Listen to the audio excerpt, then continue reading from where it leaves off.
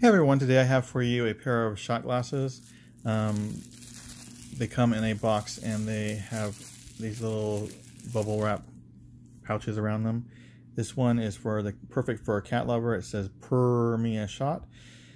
The transfer ware on here is very, very well done. It's not going to come off with lots of washing or usage. The glass itself is nice and thick and has a great um, glass bottom on the bottom. Um, this helps keep your glassware um, unbroken for a longer duration um, as it will take more clinks and dinks um, as you're using it. Um, you get two for the price of one. Um, great for a present, great for a cat lover. Um, and if you can tell, the the, the, cat has a little bit of an attitude. so these are really cool shot glasses. Thanks for watching.